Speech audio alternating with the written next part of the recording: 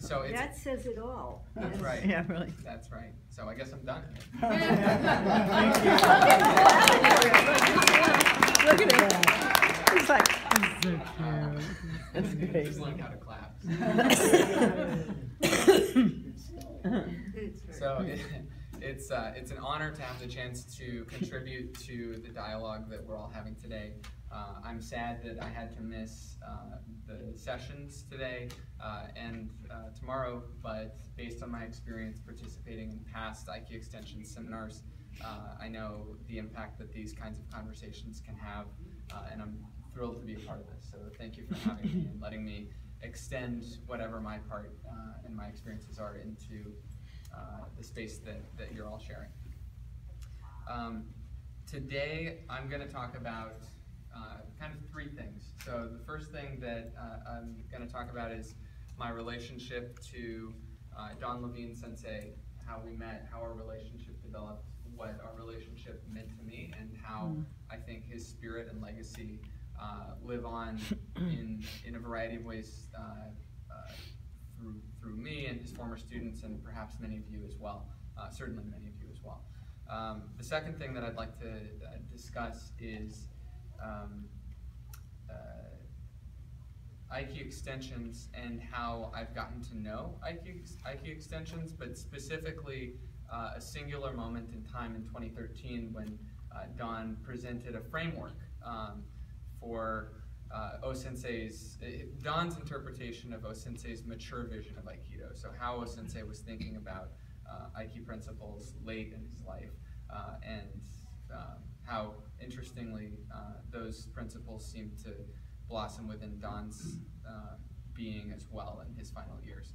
Um, and then the the third thing that I'd like to talk about um, is, you know, I, I think each of us in this room is part of Aiki Extensions because we believe in its mission to apply Aiki principles in everyday life.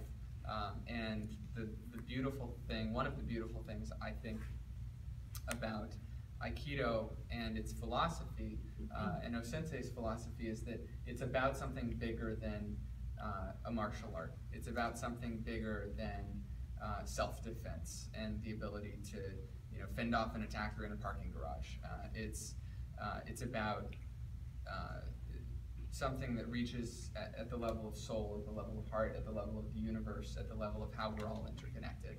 And um, and so I think that those that that kind of moral underpinning almost to to Aikido is um, manifested through the social change that each of us makes in a daily on a daily basis in our own lives, whether that's through filmmaking, through writing, through the office job that we hold and the impact we have on our colleagues or uh, or the people we work with, uh, the impact we have on our families, the, and maybe the impact we have in uh, in our dojo. And in all of the work that we do, social change is present, however big, however small.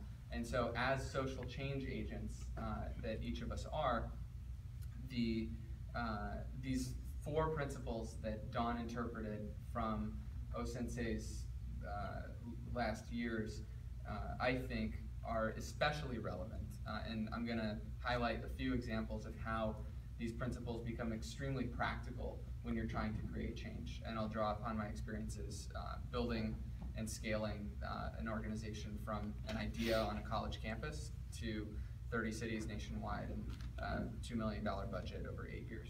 Um, so does that sound okay? And then we can have sort of a conversation. All right. Um, so a uh, little bit on my relationship with Don. Um, in 2010, I spent the summer in China.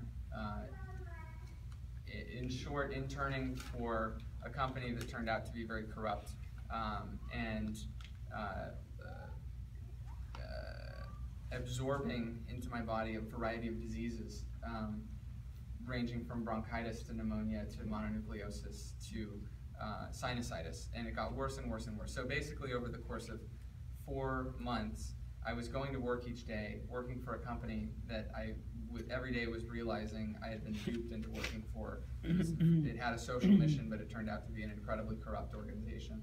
And then uh, at night, I would go home and cough all night. Uh, and it would get worse and worse over the course of the summer to where by, by September of 2010, I was completely, I just felt completely broken. Uh, and I was away from friends, I was away from family. It was the first time I was really living on my own, uh, away from anybody I was close to. I felt incredibly alone. Uh, and you know, everybody has their own sort of rock bottom. I've hit worse since then. I'm sure I'll hit much worse in the future. Um, but for someone who grew up in a privileged household, uh, I was on another continent, had lost everything that I felt, my physical health, my friends, uh, and my sense of kind of moral guidance in the world. Uh, and I was looking for something to hang on to. So I was returning to school that autumn, uh, and I heard about a course in the course catalog at the University of Chicago that seemed uh, on paper to be a really easy course. And it was called Conflict Theory Aikido. And the professor was Don Levine. And the description said, you'll learn about all types of conflicts, and then you'll go to the gym and play around on the mats. Basically, that's how that was my interpretation. And I thought, wow, this sounds like an easy break. Uh, great way for me to ease back into school, uh, you know, with mononucleosis, having to sleep 12 hours a night. Um, and I, I, show up for the class, and uh, it it wasn't easy. Everything about it challenged everything I, I had come to believe. Uh, you know, growing up in hyper masculinized sports teams and fraternity life, uh, in you know, watching the news in the 1990s and 2000s, and, and thinking that everybody's at war and this is just the way it has to be, and um, feeling disillusioned about any any kind of voice that I as a millennial could have in the world. Uh, you know, and then I and then I go to this class and everything is flipped upside down. And we're studying Gandhi, we're studying O Sensei, we're studying Martin Luther King Jr., we're studying Ralph, uh, uh, Ralph, Ralph Waldo Emerson, and everything is getting turned on its head. And and it, it was an incredibly difficult course philosophically to stomach, um, but uh, what made it so palatable was that Don was teaching it. Uh, and over the course of this 10 week uh, experience, uh, my entire worldview changed. Uh, and we would do Aikido twice a week and tie it to real world concepts, family, uh, I mean, the kinds of things that, that we're all talking about today and tomorrow here.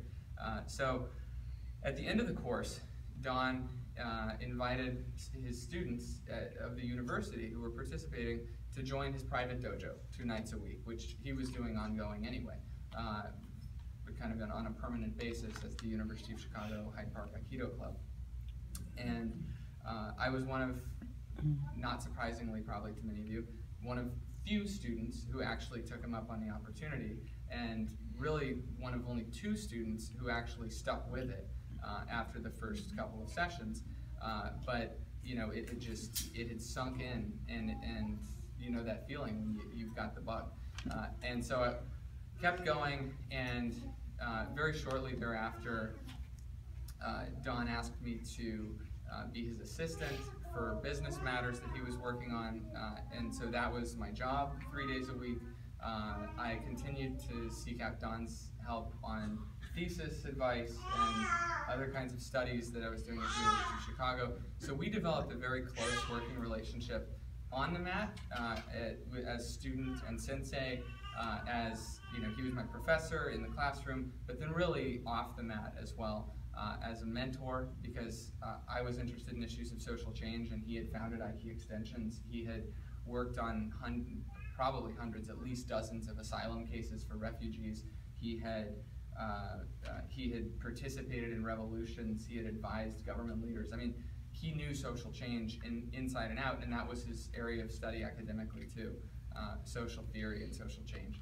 Um, and then finally, over the course of several years, we actually became friends. Uh, we transcended this uh, initial barrier between sensei and student, or mentor and mentee, or uh, old guy and young guy, uh, and and became buddies. And we would get together for scotch and coffee and croissants on Sunday mornings, and we would trade book recommendations and and you know I'd play with his grandkids, and uh, uh, eventually in 2015, when he was in the later stages of his cancer, um, uh, my son was born premature, uh, about a month premature. His due date was going to be April 12th, 2015, uh, and Don was basically on his deathbed at the time, uh, and uh, Maximilian came on March 22nd.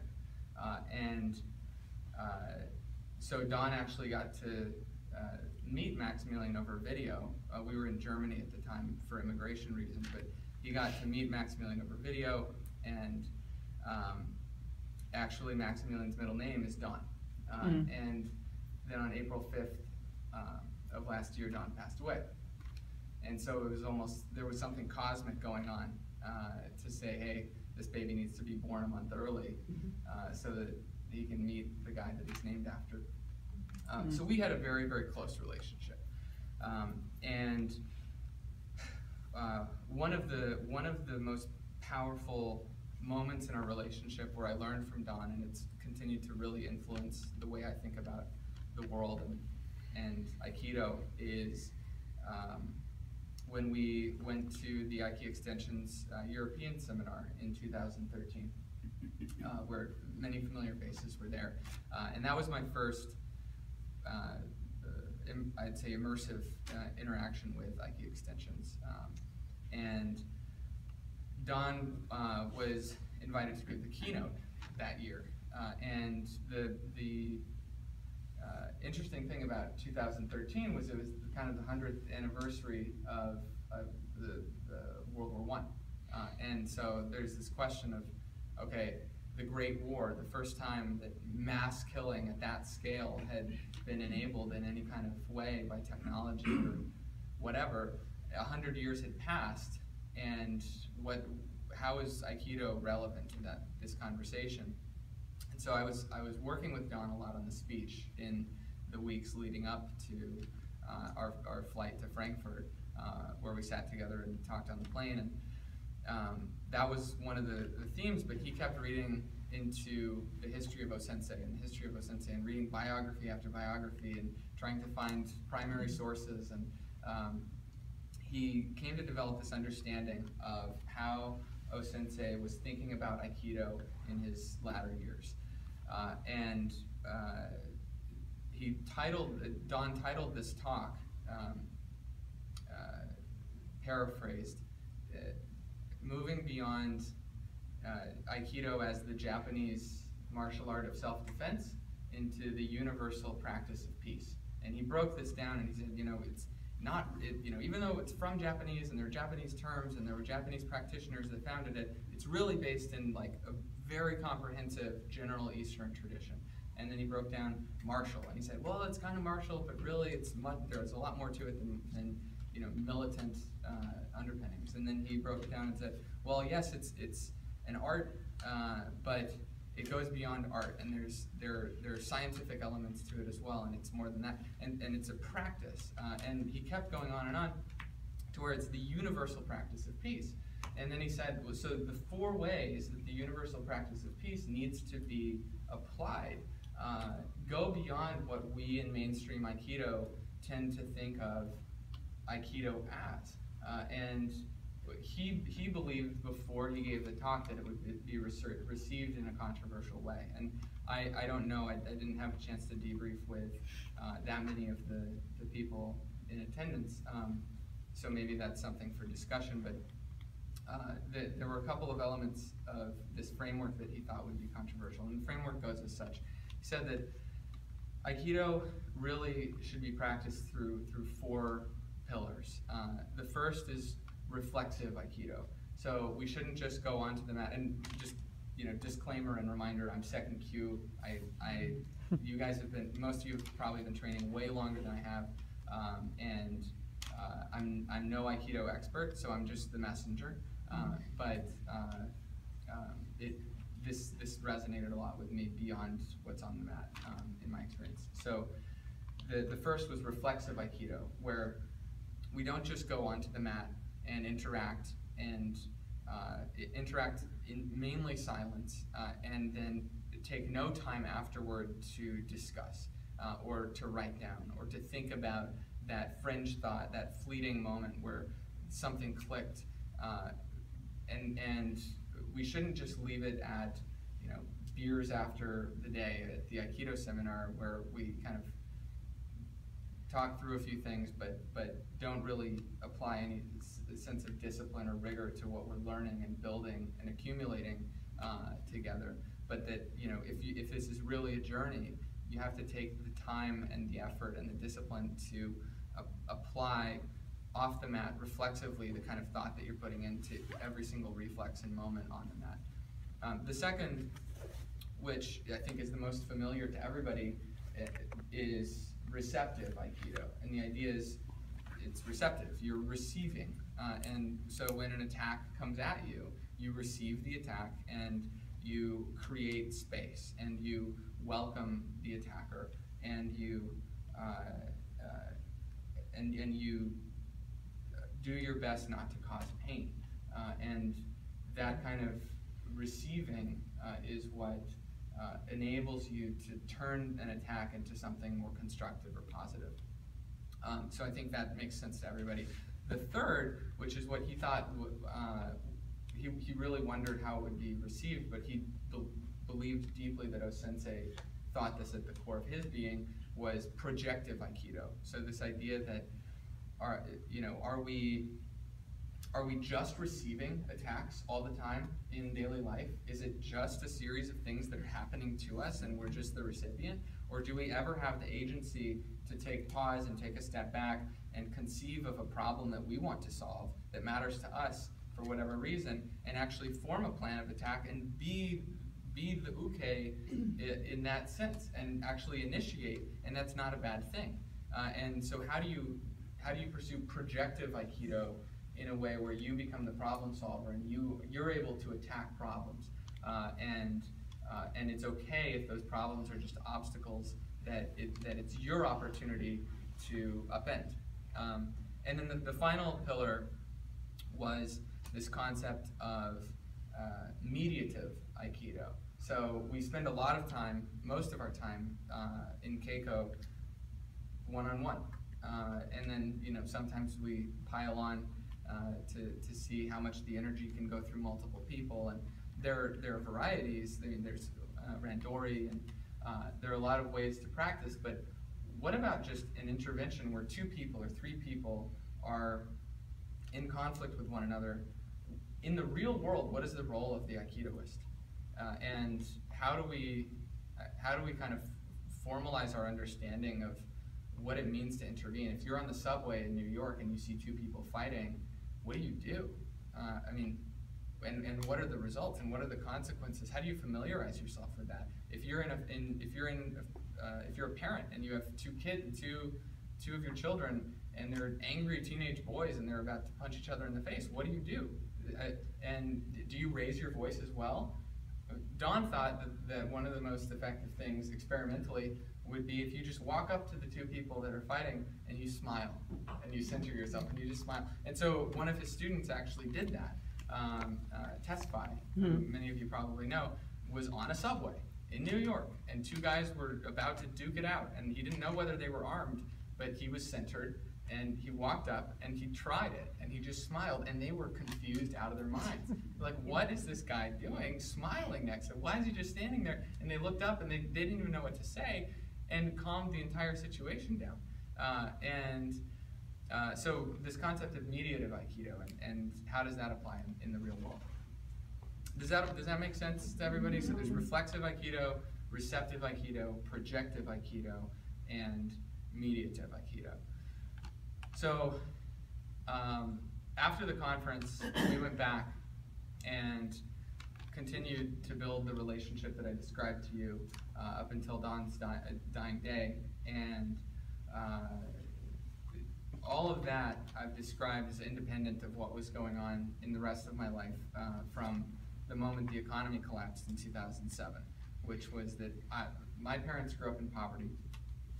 Uh, they got together and had a single child and decided to give that child all the opportunities they never had. Uh, and so they worked hard and saved every penny. Uh, and uh, much to their disgruntlement, I suppose, I kind of squandered that for the first 14 years. I was a total knucklehead, and you know, when you're eight years old, you don't know what you're squandering. Are you really squandering? It's, who knows? Uh, but uh, I was a terrible student, a troublemaker, all, just always uh, angering my teachers, getting kicked out of class, skateboarding around town, just being being uh, uh, sort of a hooligan. And And I have three of those. you never know how. There's hope. Yeah, there's There's hope. hope. Sure, hey, um, you know, there's a lot to be said for what video games can teach you, and skateboarding can teach you. Uh, but uh, what can teach you a lot too is a mentor. Uh, and so when I was 14, I failed a math test, and my mom went to the local community college, and uh, she put signs up everywhere saying something like "desperate mother seeking tutor for failing son." And uh, the, the first guy that responded was this this young man who was 19 from Ghana who just flown in on a plane ticket with his life savings uh, to pursue what he thought was the American dream because he didn't see opportunity in his own country. And he started tutoring me in math. And within a year, my, I went from being a D minus math student to a B plus math student. But the more important thing than the grade was that for the first time, I felt a sense of academic self-efficacy and agency and control over the outcomes and my environment and my feelings and my attitude and my time and my and my own outcomes. And all of a sudden, uh, I I kind of crawled out of this this mild depression that I had spent most of middle school in into uh, uh, just a sense of hard driving, probably overly hard driving uh, confidence about, or not con- more like determination with feigned confidence uh, about the future. Uh, and my future and what it meant and how I could make my parents proud as a single child, that's kind of the only thing that I had in mind. Uh, and uh, long story short, four years later, I ended up at the University of Chicago on a full ride scholarship. But the uh, the funny thing that happened uh, it, in 2007 is that the economy collapsed, and so I get to the University of Chicago to study economics with Nobel laureate professors, uh, and uh, I'm reading the Wall Street Journal, uh, walking to class, and seeing the guys from Lehman Brothers carrying their boxes out of the out of their office buildings, getting laid off, and wondering, you know, that's that's interesting, and uh, and then, you know, I was uh, interning at a bank on the south side of Chicago at the time called Shore Bank, that was kind of the first social enterprise, uh, meaning uh, business that's able to uh, help people or help the environment and still make a profit, uh, which at the time was a really novel idea. Um, now there are all kinds of social enterprises, but at, in the 1980s when Shore Bank was founded, it was very, very uh, new.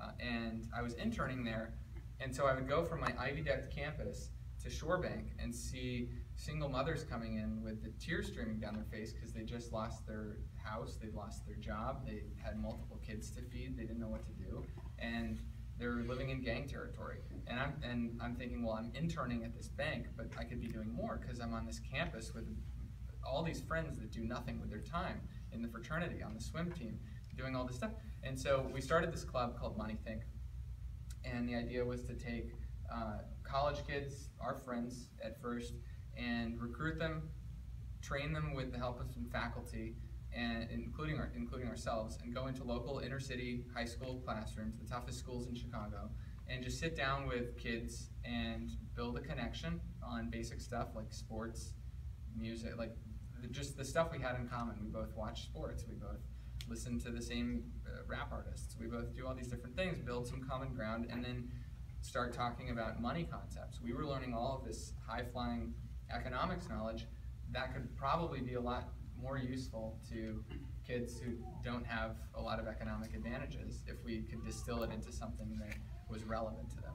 Uh, and so we did, and it was it was difficult, and I'm happy to talk war stories. But the uh, um, the long story short is that we built a curriculum, we built a volunteer base, we expanded it uh, to over the course of time 30 other campus communities and 60 other high schools across the country, uh, and then uh, raised funding from Wall Street firms, family foundations, billionaires, millionaires, everyday common people that wrote two dollar two dollar donations on our website, uh, and and hundreds of these people, thousands of these people, and um, uh, gained you know the kind of exposure, media attention, national acclaim that have uh, together as part of the big picture enabled us to really make a ripple effect uh, at tables where big decisions get made about policy, about uh, funding, about all kinds of things that ultimately influence our students and the communities that we serve.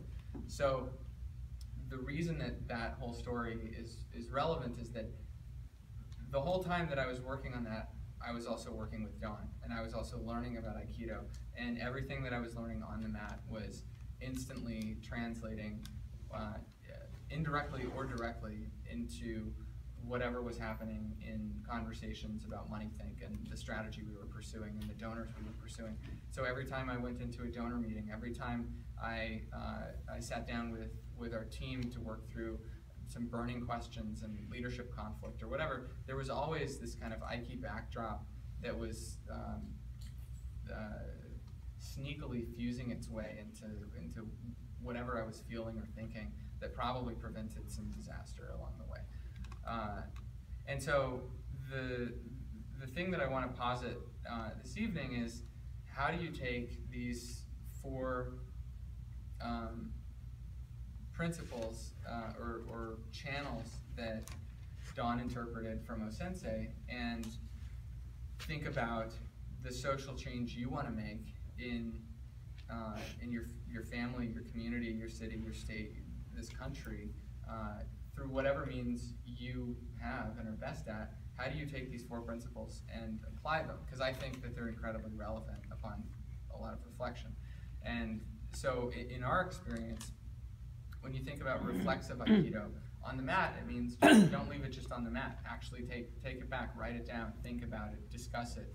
Uh, in social change efforts, it's if, if there's a leadership conflict, if there is uh, a, uh, a, a uh, negotiation with a big donor or a big client, if there is a disgruntled beneficiary uh, that you're trying to serve but things aren't connecting, whatever's happening there, that's that's the work. That's the Keiko of social change, and it's and it's not enough to just resolve the issue. It I think it, it takes you know having a notebook called key decision analysis and taking five minutes every Friday to say what were the what were the big things that happened this week and uh, and how did Aikido play out? How like how did my leadership evolve? How did our organization apply Aikido principles? And actually thinking about it and logging it, uh, because the process of logging it actually I think sharpens uh, the the, the thought that um, that we can then reapply more naturally the next week. Um, it also applies in, in MoneyThink in the sense of, you know, it's really easy to fudge numbers. It's really easy to say, oh, the kids, it seems like the kids liked it. It seems like the volunteers had a good time. Oh, the teachers that hosted the visit uh, said that it was really cool and it was better than anything they'd ever seen. Well, that's all great feedback, but how do you know that? Uh, how do you know what degree of validity that feedback is? Like same thing, you know, if you're hosting, I don't know, an, an Aikido event or uh, a book launch or anything that's that's relevant. How do you go past just qualitative data? How do you say, what are the metrics that actually tell me whether this was more successful than what happened before? And what are the metrics that actually say whether this is more successful than everything else comparatively that's happening out there? And I know uh, like in, in the space of Aikido and spirituality and somatics, that, that that's very difficult to do a lot of times because there aren't numbers that you can throw onto like spiritual transformation or you know everything psychological. Um, so I, I don't actually have an answer there, but all I know is that in building an organization, one thing that has helped to get donors and uh, really strong senior leadership team members to join us and actually take a job with us rather than Facebook or Google or whatever has been uh, to hold ourselves to a standard of rigor and be very transparent about the numbers that we're achieving um, and almost treat ourselves like we would treat ourselves if we were a public company, even though we're just a, a 10, 10 person staff nonprofit. Um, the, the second uh, being receptive Aikido, uh, I think is, is probably something that I don't know, need to go into too much detail on because it's the most natural to everybody in the room. But things don't always work out. Uh, donors pull out, uh, people try to sue you, employees try to ruin your reputation, uh, former employees. Um, uh, board members defect. Uh, leadership is a contact sport. Uh, you know, as much as as much as we don't want it, as much as this art exists to to smooth out those collisions, the collisions still happen. Bloody noses happen, uh, and some people don't take those bloody noses the right way, especially uh, if you had if, if you couldn't do much about it at the time, because not everything's within your control. Sometimes shitty things happen in the dojo that you weren't in control of, and uh, and you know you just have to take it from there. And anytime something like that happens, there's just the question of how do I receive this? How do I create the space? How do I genuinely try to not inflict pain on the person that is upset, uh, genuinely, uh, and uh, how do I get this to a point of resolution that helps me, uh, for lack of a better or more appropriate phrase, uh, uh, uh, lose the battle but win the war um, in a lot of senses. Um, and I, I know ultimately the greatest victory is the victory over oneself, um, but uh, in the in the near term, there's there's more. Um, third, projective aikido. So I, I'm just thinking about aiki extensions. You know, Don was a an activist at his core from the very beginning. He when he was 16, he joined. I don't even know how he found out through the through the mail. There was no Facebook groups. There was no online petitioning. It was like 1940 something, and uh, the for and it wasn't the League of Nations, but it was the United Nations, and the they, there was a youth version of the United Nations that was being founded by some 19-year-old kid somewhere else in the United States. I have no idea how Don found out about this guy. They weren't Facebook friends, I'll tell you that much. Uh, and uh, he mailed him, and they got together this group of 20 or 30 uh, young uh, activist types and created the youth version of the United Nations. And it was all managed through snail mail. and I think they had a convening or two over the course of several years. Um, and it, but it was incredibly powerful that that was happening, uh, given all of the constraints. Uh, and regardless of the constraints, it's incredible that that happened, and that he was a part of that. And so from the very beginning, he was act, he had activism of sorts in his blood, and all of the yeah, and all of the I mean again all of the asylum cases, uh, all of the refugees he stood up for, all of the uh, all of the work he did in, in academia for social change and, and social theory, um, just everything that he was doing was uh, was was projective in a certain way, but to to to decide uh, in his early years as an aikido as an aikidoka that hey, I see a problem, which is that there's a lot of people that love to apply aikido principles in their daily lives, but I'm not seeing a lot that's joining these people across borders uh, all around the world as part of a singular association. Maybe I'll found an organization to enable that to happen, to create a platform for that to occur, um, and build an association there. That's projective. I think to if if one, if he were to have limited himself to the idea of receptive aikido only, as there's only nage, and uke will you know attack nage insofar as nage neutralizes the attack, and then we just start the next thing. Uh, but that I'm not actually going to create the attack toward a problem that I see, then uh, I don't know if this organization would have ever been founded. Uh, and so I think that there's just something really powerful to be said for projective Aikido um, in social change. And the same thing is true of MoneyThink. The same thing is true of any great organization. Yeah. The same thing is true of any great organization, uh, which is that uh, if you look at the kind of, I, I think, there's incremental change and there's exponential change.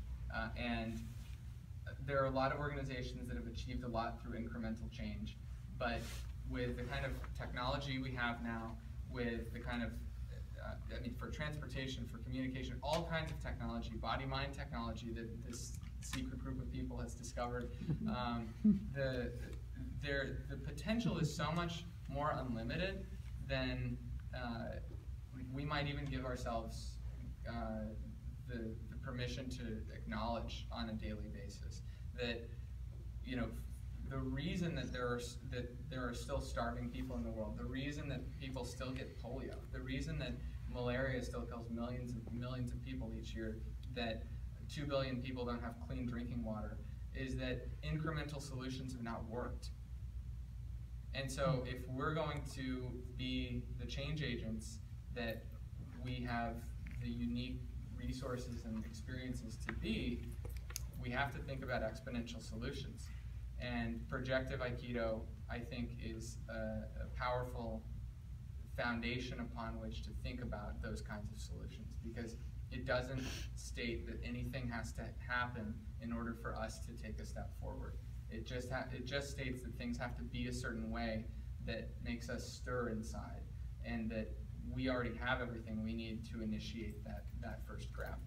Um, the, the final um, the final piece here is mediative Aikido, and I actually don't. I thought about this a lot, and um, outside of the work of mediation itself, uh, I don't know uh, that um, I have a, a really literal, tangible way to think about mediative Aikido. That's more of like a, a question I would pose, but um, I do think philosophically, mediative Aikido has been really powerful for thinking about our organization as a mediative force in the world. Uh, in the same way that Aiki Extensions is, in the same way that anyone doing powerful work at in, you know, on the fringes between two uh, forces in the world that are that are at tension with each other, uh, uh, business and the social sector, uh, uh, everything in politics, um, uh, uh, gentrified communities, uh, wherever you're, whatever you're looking at, wherever you're operating, there are tensions. Uh, and I think that uh, the reason that our organization has been successful is because we've been monomaniacally obsessed with, uh, with uh, neutralizing the, the conflict at those in, that, those tense intersections and not just neutralizing and letting and letting it sit and disappear, but neutralizing it and creating these vortices that uh, that speed up the flow of resources and dialogue and information at those points of intersection. So I'll give two examples. One is just, uh, it, you know, when you're building a nonprofit, there's the philanthropy that happens, meaning the, the money that's coming in from wealthy people that don't have a lot of exposure to the students or the patients or whomever you're serving. And then there's the students or the patients or whomever you're serving, the beneficiaries. Those two parties rarely come into any kind of genuine, deep empathy with one another. And so if you're the social change agent that's trying to grow the pie that is funneling resources in some kind of smart, strategic way between these two entities in the world or the universe, then the job is not to tear down the machine.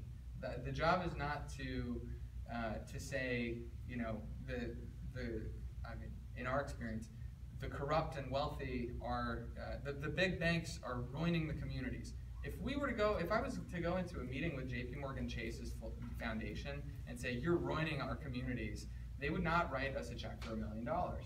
They would not give us a chance to actually do the work that they're not, they're never going to be equipped to do because they don't have the claim to authenticity or the trust in the community to actually affect the change that's needed. Uh, but if we go in and we say, look, we understand that there are there are difficulties uh, that our communities face, some of which are exacerbated by your institution, some of which are, uh, you know, possibly uh, able to be alleviated by things that your institution can do.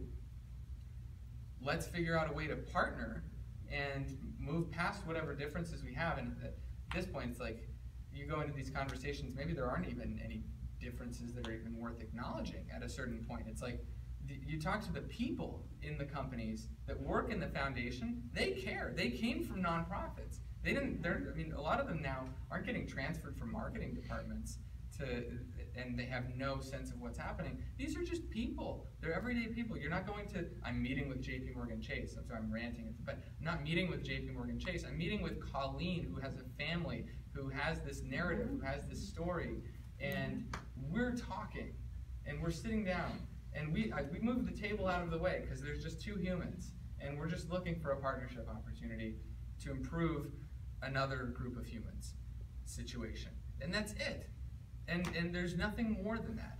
Uh, and so, I, I, you know, when I see people tying themselves to airplanes and trees to tell British Petroleum to stop ruining the environment, I kind of think you're, you know, you're destroying your case because uh, no one at British Petroleum is going to be interested. No one's going to respect what you have to say if you're disrespecting, you know, what they what they have to be doing anyway. It's not like they, you know, people don't choose to go into a career where they're, you know, uh, ruining communities or people's health or anything like that. They're just, you know, need to get a job, need to help my family. So if you're on the activist side, is what it is. Find a way to work together. Um, mediative Aikido. Uh, so that's uh, those are the four um, the four pillars that Don distilled uh, for on the mat training and how they've been really helpful uh, for me off the mat in social change efforts. And I think that each of us as a change agent in whatever capacity uh, can uh, perhaps find find some value in applying them in our everyday lives. Um, so again, thank you for having me. And um, I don't know what time it is, but that, if, if a dialogue is of interest, then I, I certainly mentioned dialogue is of interest, but let me first say thank you. Like to show of hands of anyone who didn't find something inspiring in what you just heard. That's great. That's great, yeah. really Could I ask a general question? Is, is that speech, uh, available somewhere? Uh, I I, think. I just Don's videotaped speech. it, No, so. Don's speech. The Don speech I'm Oh, talking oh. about. Good question. No offense, but No, you're I- I- a very I- well-spoken young man. Much Yeah. Knowing Don, I'm sure he wrote it up There, as. we have the written copy. Yeah. We ha, I, I think we, do we have it on the website? Now? It'd be yeah, great to make that available. It's on the website. Um, If you're a member, you can access it, uh, but we can certainly circulate it to the. to the- I have a question. When are you running for president? Did you vote? Not till he's thirty-five, that's the rule. Gotta Jim produce my Quick's birth still alive. Well said. Yeah?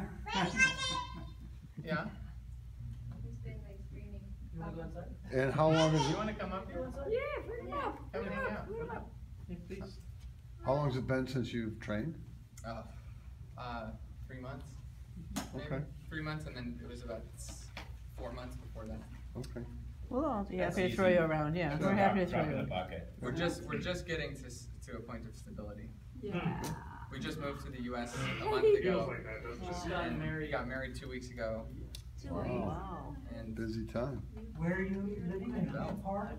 Hyde Park, yeah. Are you going to university then, or? Uh, went to the university before, but, um, we, we have, uh, office space very close to the university for the nonprofit. You near Don's old house? Actually, yeah, yeah, Yeah? yeah, Oh, we yeah. just moved in That's a good area. four, four or five blocks away. Oh, really? Cool. Yeah. Yeah, that's good. That's fun. Uh-huh. It's a good neighborhood. Yeah. What's the next thing for money? Um, I think, right, um, so I was telling Robert that, uh, traditionally at this stage in an organization's growth, it's called, uh, the Valley of Death, because you're past the initial phase where all of the big funders wanna fund the next big thing, the new thing, and the, the darling of the field. Um, and, but you're not at the point yet where, uh, Pew Research Institute or Harvard, Harvard Business School has, uh, uh, has said, you know, on, at the national stage, we have six years of data longitudinally proving that this is what causes revolutionary Right. student outcomes. So we're kind of in this middle phase where we have really strong data of our own, but we have to find a kind of a group of core Right. philanthropists that can help us bridge the next couple of years until we get to that point. Um, It doesn't So- sound familiar, does it, Jim? Yeah, that sounds a little. Yeah, yeah, recruiting a strong team is a core part of that, because Yes. serious donors wanna meet who's leading the organization. and, uh, it doesn't always work to say, we've got a twenty-six-year-old CEO that has been doing it for eight years. You've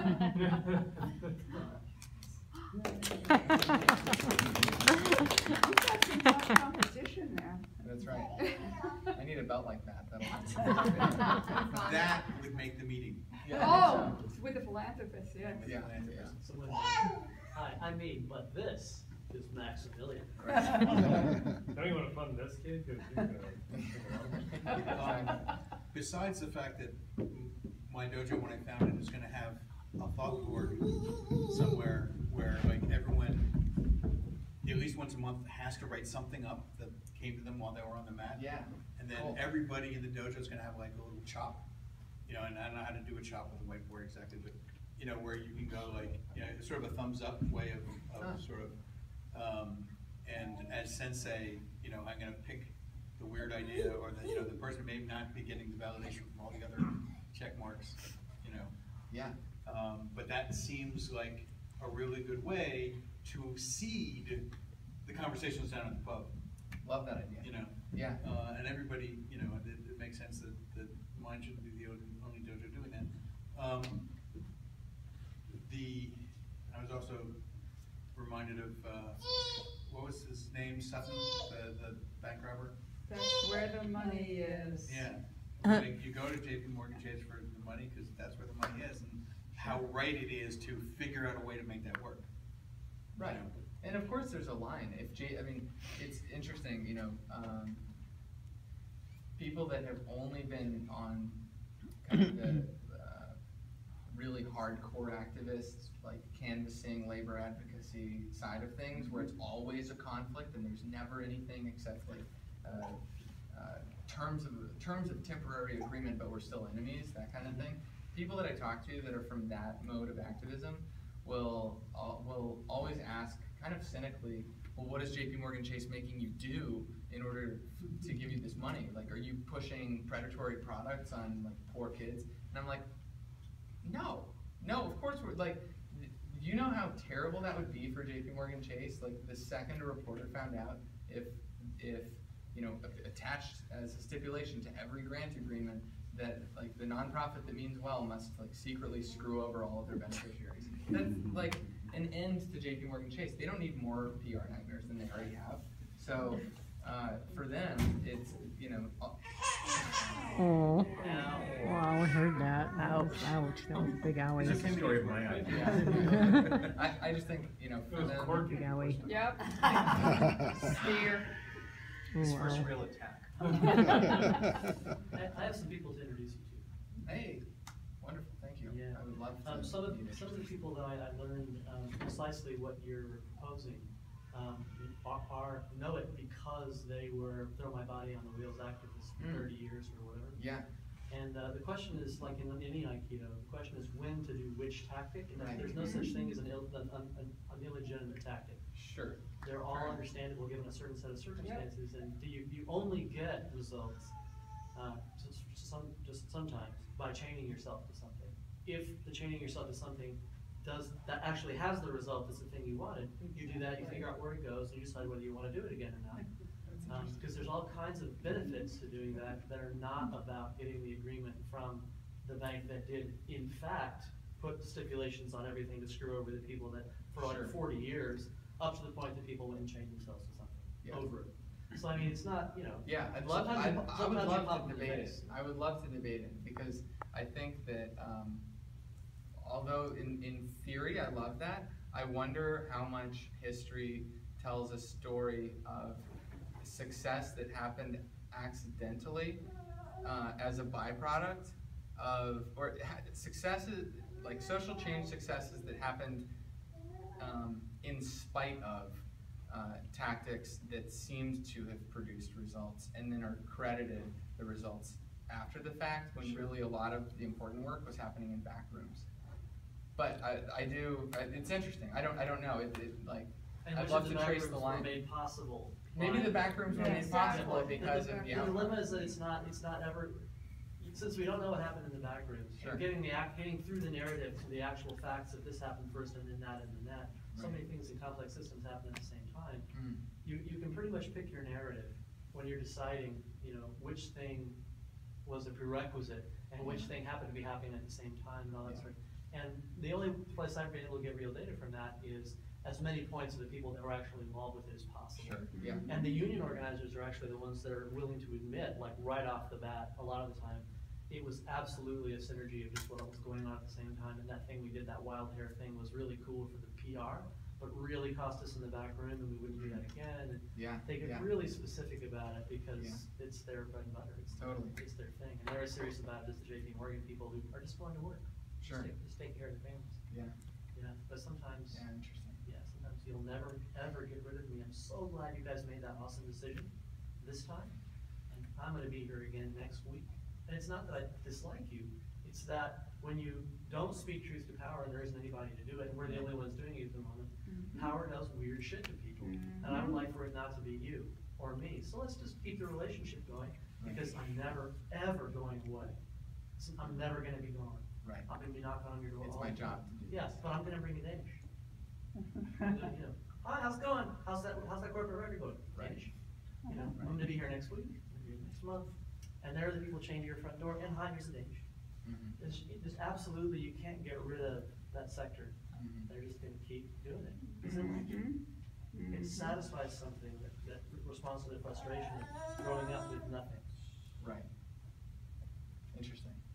Yeah, no, I, I, I think, uh, That's the only thing I wanted to challenge you about during the whole talk, really. yeah, yeah, no, thank you. Then Yeah. I thi- I think, uh, I, you very well could be right.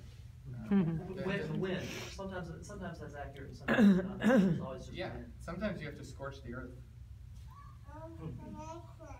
Uh, Not very often, I don't. No, No, sometimes you have to put your body on the line to make your point, because you do not get taken seriously until you put your body on the line.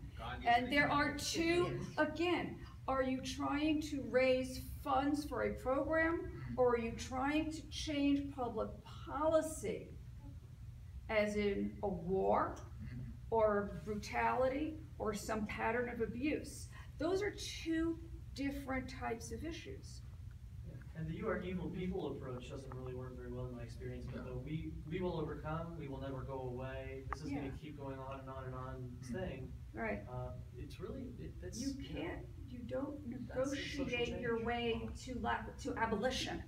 You don't negotiate your way to suffrage, okay? That, because that's not a negotiation for philanthropy. That is not philanthropy, that's civil rights. Mhm. yeah, And- very and different, that's the very difference. different. Yeah. As you walk Yes. the two Very people- different As you walk up to the two people on the subway, you can walk up and flatten one of them, or you can walk up and just be there and splat. Right, well, right, and that's And if you wanna fight de-escalation, again, I'll come back and and splat de-escalation I'm works. available. De-escalation works. Right. But what's, but again, what is your, go- what is the goal and how are you going to achieve that goal? Right. But Don, Don was, was, as far as projective Aikido is concerned, he was, uh, he wasn't fearless. Um, he, he, he was pretty straightforward about having some serious concerns about some things. Sure. Some choices in his life. Sure. But he was, he was extremely direct about some, some things. Yeah, yeah. And then he would negotiate, he, I mean, he was available to negotiate. Sure. But the beginning was irimi, a Temi, and then, and then as soon as everyone was clear that he wasn't going anywhere, mm-hmm. then the negotiations could begin. Mm-hmm. I saw him do that several times, and he was really good at that. It's the, He it's the was hit the mule over the really head with a two by four approach. And you have his attention. Yeah. Yeah. Yes, please. I thought it was pretty significant that you referenced the strategic nature of Aikido in your, um, in your play. Um, I, I've also witnessed the the application of Aikido to strategic awareness in, in companies and organizations. And I think we touch it very lightly here, and it needs a lot more light. Um, the, I could say the Aikido that I've seen leaders do in large systems been amazing. Um, uh, I'll give you a quick example. Uh, I was working with Kaiser, and uh, the guy who was in charge of their uh, software factory and their upfront client interface, uh, in charge of both, took the role to run one of these shops And he called me up one day and said, hey Thorson, I think I got this Aikido shit you've been talking about. What did you do, Dave? Said, well, there's been this chronic conflict between these two operations. Once the year starts, whose budget does the new work come out of that we didn't count on? And we fight all year long, every year, all year long, about whose budget the new work's gonna come out of. So what I did was I gave the front end the software budget. I said, you what? He said, I gave them the software budget. It's like, I don't know how many million dollars. This is IT at Kaiser, it's five thousand people, he's got this. I gave him my budget. He said, I get it. You give up control to gain influence. Strategic awareness and IQ, is just fabulous stuff, and I, I, I know that's what you were hitting.